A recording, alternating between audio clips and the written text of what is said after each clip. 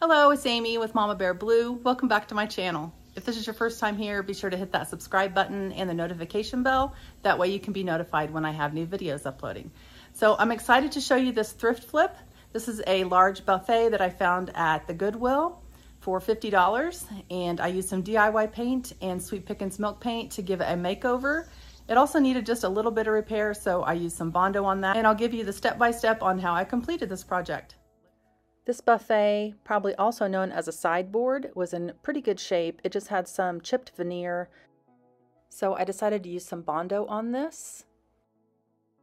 You just want to use it according to the instructions. I will tell you that once you begin mixing the putty with the hardener, it doesn't take long before it starts to activate. So you only have probably about a minute or so to get your putty in the places where you need them. So I just worked a little at a time filling in the cracked veneer.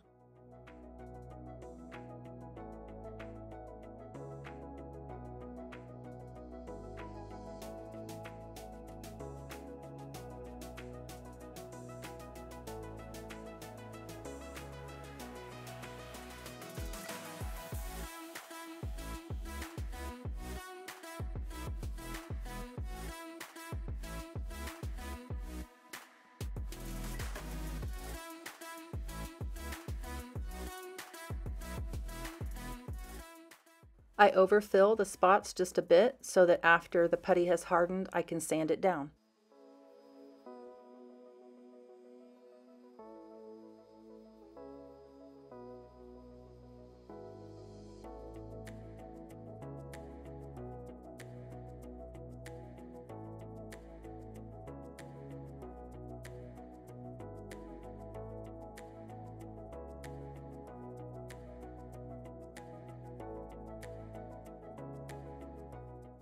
Wiped all the sanding dust off, and then it was time to start with the paint.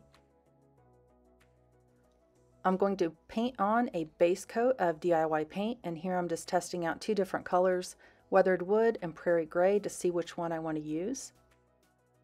The milk paint will be chippy, so when it does chip, I want to have one of these colors showing through. I actually decided on prairie gray.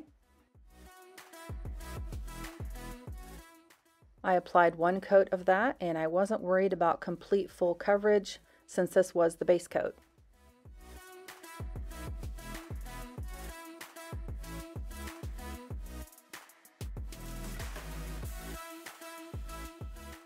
Now it's time to mix up the milk paint. So I chose a couple colors of blue. I wasn't exactly sure yet what I wanted to do. I did have an inspiration picture that you can see under that milk paint. I am using Sweet Pickins milk paint and Old Fashioned milk paint. They are made by the same company. Colors were Bluebird and Soldier Blue. Milk paint comes in a powdered form and I just mix it into some warm water. I use a plastic fork or an immersion blender. Here I'm going to use my immersion blender. And it should be about the consistency of a melted milkshake.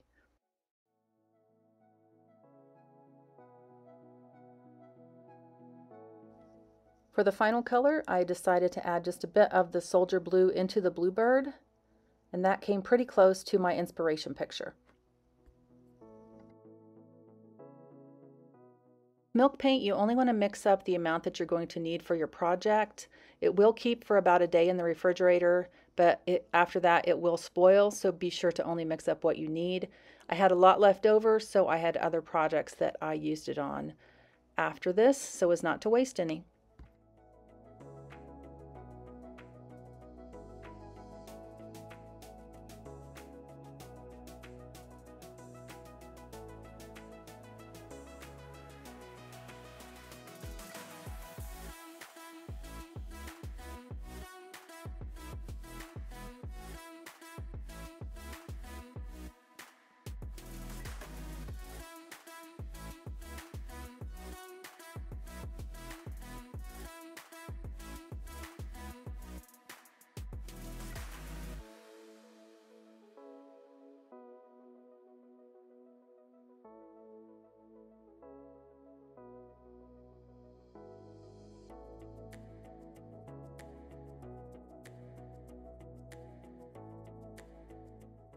I applied two coats of the milk paint and after the second coat you can see that it started to chip.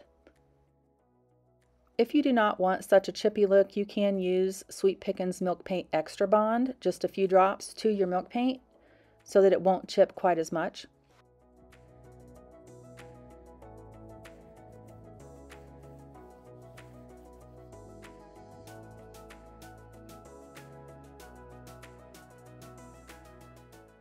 Use my orbital sander and a 220 grit sandpaper to get some of the chipping flakes off.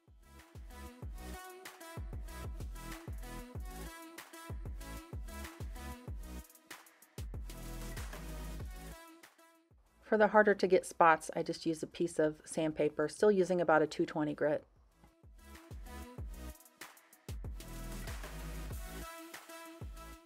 After I was done with the sanding, this is what it looked like before the wax was put on. Then I applied a coat of DIY Paints clear wax to the entire piece.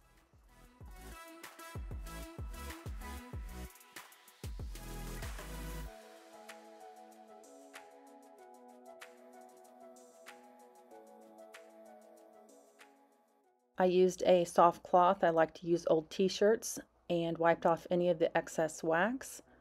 If you wait 24 hours after this, you can do that again and buff it to a slight sheen if you'd like. I decided to also use a little bit of dark wax from DIY Paint, not over the entire project, but just select areas and then wiped back. When you do that, that dark wax will sit down in those brush strokes and cracks and re really help give it an aged look.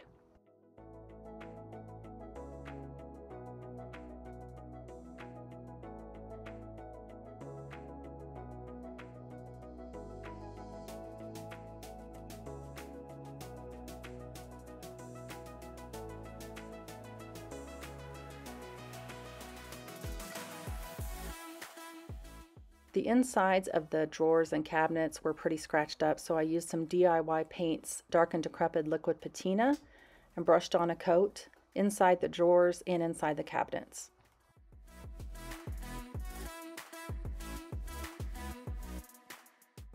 Here's the before and after so you can see what the Dark and Decrepit does. I found some knobs at Hobby Lobby, which I loved. I thought they fit the look of the piece pretty well, and I put the knobs onto the piece. And stay tuned till the end for the final reveal. For all of the paint and products used in today's video, you can visit my website, mamabearblue.com. I hope you enjoyed this video. If you did, be sure to subscribe to my channel and give it a thumbs up and leave your comments below. And I will see you in the next video. Bye.